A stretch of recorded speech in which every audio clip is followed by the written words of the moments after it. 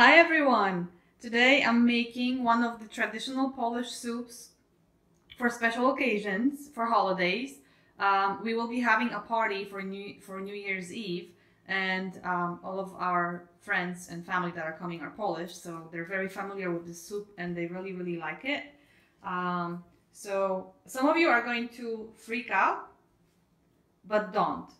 I am telling you, it is delicious. And the star of this soup is, can anyone guess what this is? It's tripe. Okay, and some of you are like, what? What is tripe? Tripe is the stomach or the lining of the stomach of a cow. Okay, now half of you have fainted. It's okay, come back. It's really delicious. Um, I boiled this tripe for about three hours or three times. Yeah, so about an hour each time. Um, and then you pour the water out, you add new water, and you clean it up that way so that the scent of it is pleasant. Uh, otherwise, it's not going to smell so nice, and I recommend boiling it a couple of times. Um, we also have bone broth, and I have um, about a pack and a half, and these are one quart, or for my European friends, uh, about 946 millimeters. And then we also have my son who loves to be the star of each show.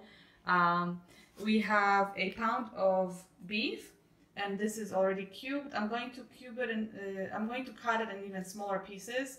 I bought a large piece of um, beef shoulder and then I cut it. I had this one frozen. I defrosted it and now I'll cut it into even smaller pieces. Again, I have about a pound and four ounces. And then we go to our vegetables and aromatics. Uh, so as far as um, the aromatics are concerned or our herbs, this is going to be the star of our show. And believe it or not, I'm going to use a whole uh, package of that. That's, uh, I think it's called mar marjoram or marjoram. In Polish, it's majeranek. And the other things that we'll be using are carrots, which you see right mm-hmm. there. Um, we have ginger. a little bit of ginger. We have parsnips. We have one large onion. And some of you may not be familiar with this, but this is celery root. And I just can't believe uh, why it's so difficult to find this. Um, there are so many uh, people that eat celery in this country, but they're not familiar with celery root, and it's a great um, root vegetable, I think. Um, we also have spicy spices, right? So what do we have there? We have ground cumin, we have sweet paprika. What's the next one? Oregano, mm -hmm. and then we have some Hungarian hot paprika. So mommy likes it spicy, right? Yeah. Augustine not so much. I like spicy. You chips. like spicy? Oh, it's spicy chips. Okay. And here we have different types. Different types of spices. Okay. So you see, um, again, what we have is uh, paprika and hot uh, pepper flakes. We have black pepper. We have some ground cumin. I just placed it on the table because um, it's it's easier and nicer to see that this way. We have some bay leaves. We have allspice. And um, we also have a little bit of oregano on the plate. The reason I have some uh, of the spices set aside is because I will also uh, put them on my meat as I brown the beef. Okay, so this is all we'll need. And the next step for me is to get in and cut all of the tripe. I'm going, I'm going to cut it into small uh, pieces. It's going to be uh, little strings, if you will. And I'll show you exactly what it looks like after I'm done. Okay,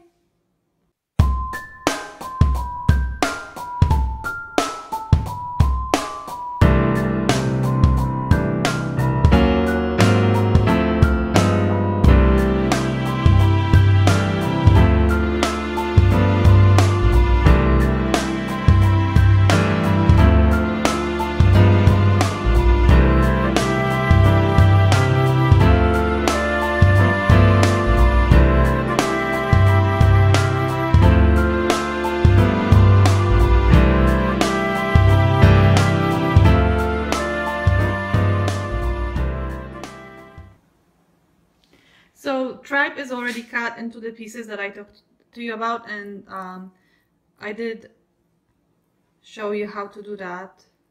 Um, so here, this is about the length that it has to be.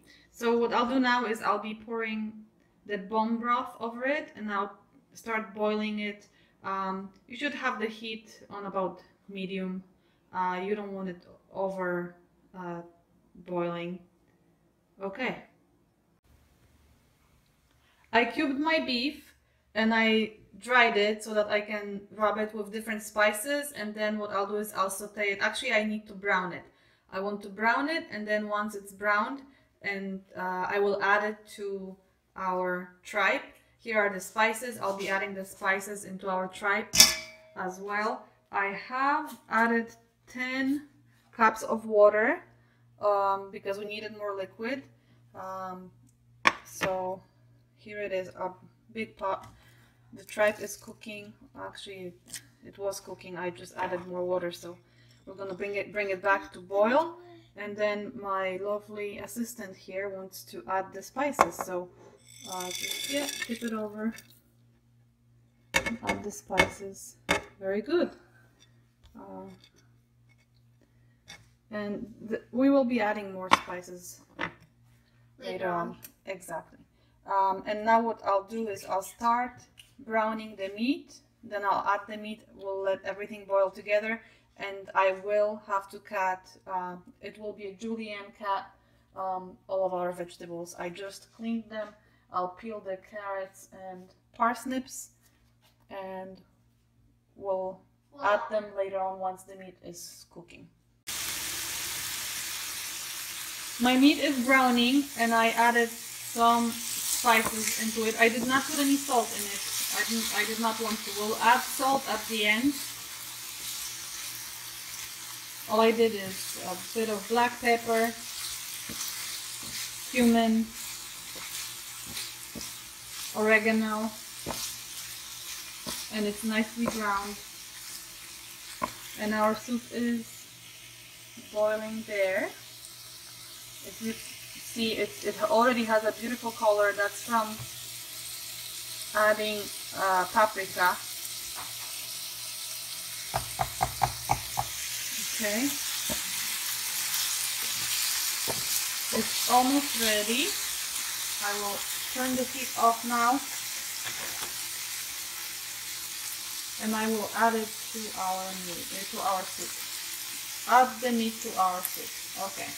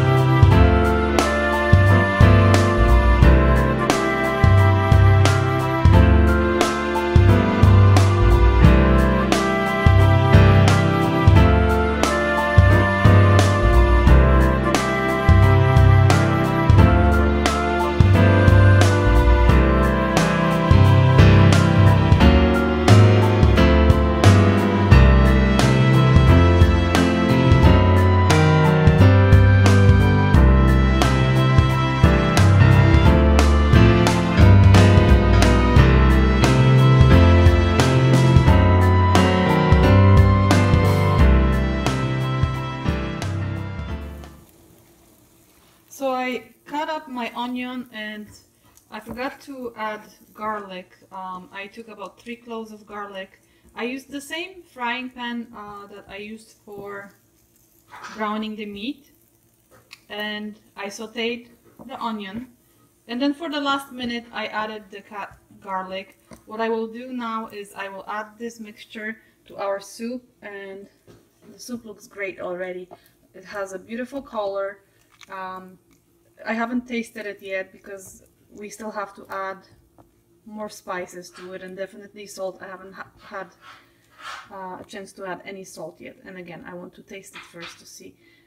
So I'll add this and uh, after that we will add our vegetables. I have already cut all of the vegetables into nice julienne style. So here are my carrots, the celery root, as well as parsnips. So I, could, I can add that and then onions. And then just uh, make sure that you add spices to taste. Our soup looks wonderful and you can see the beautiful color. The meat is soft and so are the vegetables. And now we will make a roux to add to our soup to make it a little bit thicker. I like the consistency of the soup to be a bit thicker. So what I have here is three tablespoons of butter and we will melt butter.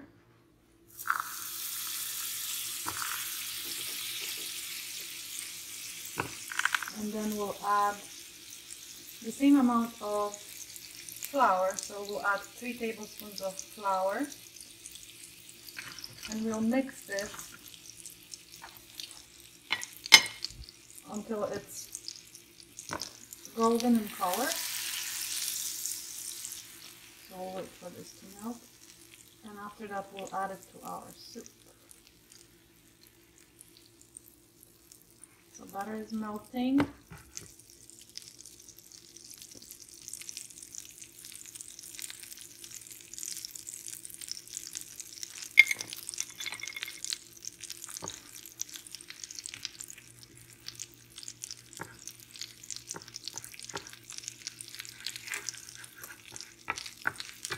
Okay.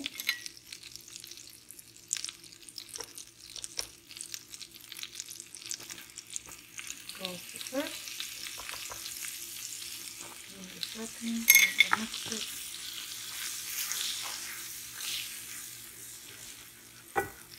Important to mix it well.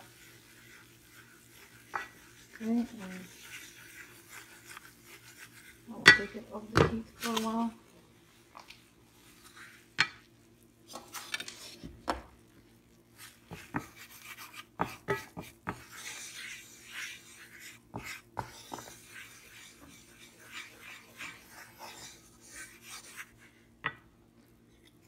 And I will be adding the third tablespoon. Like I said, it should be the same amount of butter as flour. Since we have three tablespoons of butter, we've added three tablespoons of flour. And now again, mix it well and then we'll put it back on the heat so that it browns a little bit. We want it to have a nice golden color.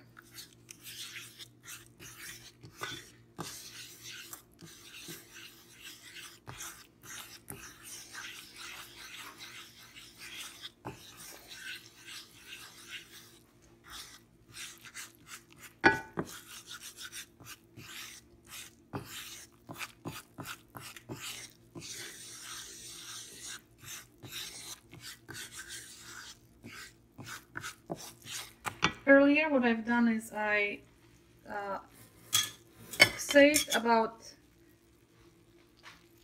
half a cup of the soup, just the broth. And it has it was outside. I, I wanted it to not be hot anymore. We will add it to our roux and then we'll add the entire thing back to our soup.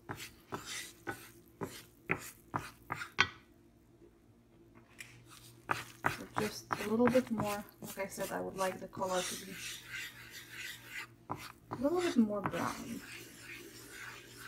or golden.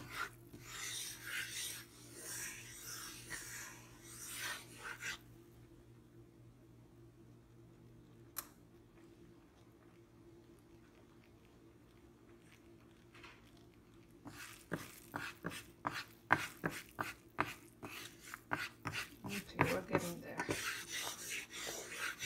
We are almost there.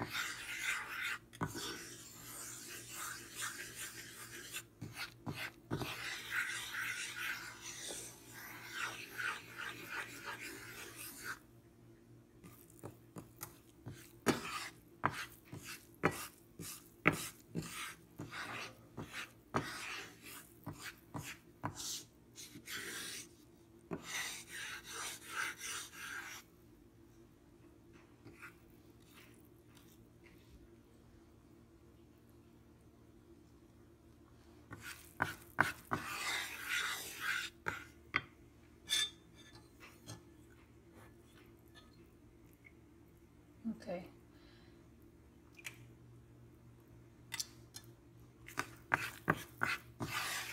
There we are. Great.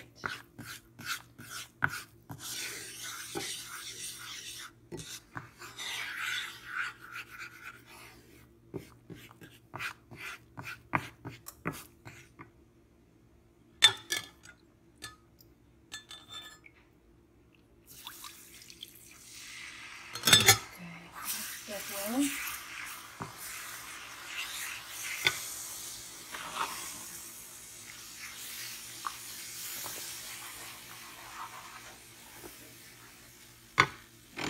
Turn the heat up.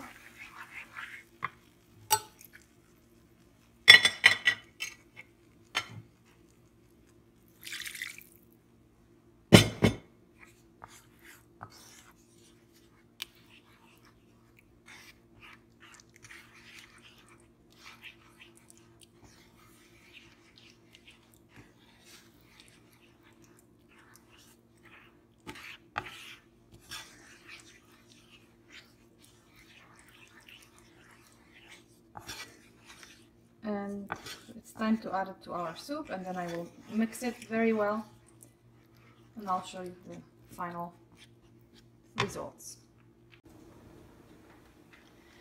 So I have added our roux to the soup and look a beautiful golden color. It smells great and look at the meat very nice. And the beef right there. The vegetables are soft and I just can't wait to have my guests over tomorrow and taste it. Well, I hope you enjoyed it. I hope you will try and make this on your own. Like I said, it's very delicious. Trust me, it is. And I hope you subscribe and like the video. Thank you.